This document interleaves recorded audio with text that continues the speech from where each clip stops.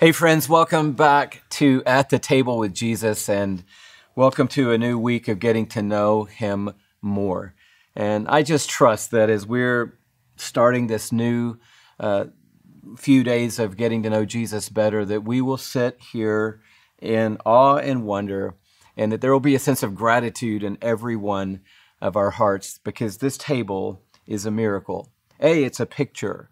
Um, it's interesting that we're not just uh, sitting at a desk with Jesus. We're not uh, at a, a job with Jesus, but we're at the table with Jesus. He says, I'll prepare a table before you in the presence of your enemies. And when he says that, he's talking about communion. He's talking about relationship, fellowship. He's talking about doing life together. He's not just saying, I'm going to give you a set of beliefs or some commands to obey or some rules to follow. He's saying, I want you to sit down at the table and have a relationship with me. Yes, I have things for you to do on planet Earth. Yes, I have a calling for your life. Yes, we're going to be involved in changing things for the better, but it starts in a relationship with Jesus. And I just want to say thank you to him again today for this privilege. And I think we all do. I just want to come to the table today with gratitude and say, This is a miracle that the God of heaven invited me to a table. Thank you.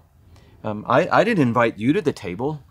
I mean, if we're honest, some days we don't even get up and think about the table. We, we're running late. We've got stuff to do. We're out the door. We didn't have time today. And every single day, he starts the day thinking, I want to spend time with you. I can't wait for you to wake up today so that you and I can spend this day together. And so we're coming down to the end of our journey.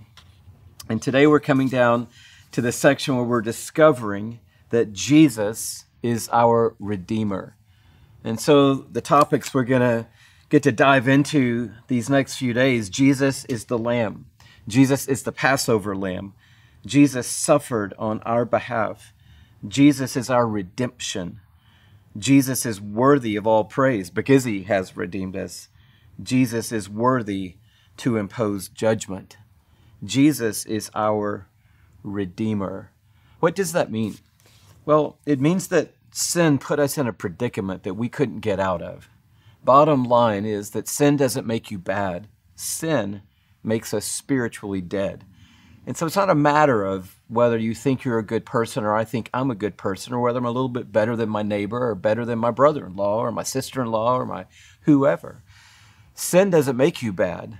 The scripture teaches us that sin separates us from God by causing us to be spiritually dead.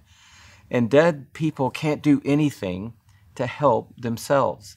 And so sin isn't a problem, it's a predicament that we cannot overcome on our own. And we need outside help. So that's the gospel. If the bad news is sin makes you dead, then the good news is Jesus has the power to bring you to life. And that's what the story of Scripture is all about. It's not about Jesus coming to make you and me better people. Although following Jesus will improve our quality of being and our quality of living. But Jesus didn't come to make you better. Jesus came to bring you from death to life. Jesus didn't leave the throne just to improve our condition. He left the throne because he knew he was the only one who had the power to bring us from death to life. He is our Redeemer. So, what does that mean exactly? It means that He paid the price. He is the price. He is enough. He satisfied the wrath of God. He paid in full for the sins of humanity. He covered with his innocent life all the wrongs of every life, and he is our Redeemer. He's not giving you a coupon that redeems you, he is the coupon that redeems you. He's not giving you a secret code into heaven, he is the code into heaven. He's not saying to you, here's what you can do to make it up with God, or make it back to God, or make it right with God. He's saying, I am making it right with God. I am your Redeemer. And you know what that says about you most today? It says that you have incredible worth to God. I just want you to think about that as we go into these few days together, celebrating that we have a Redeemer, someone who paid the price for us. So we honor him. But in the same moment we honor him, we receive what that means about us. And you know what it means about you? It means that you have incredible worth to God. I mean, you can say it, and even though it sounds a little poetic, it's true that you are worth Jesus to God because Jesus is what God paid for you.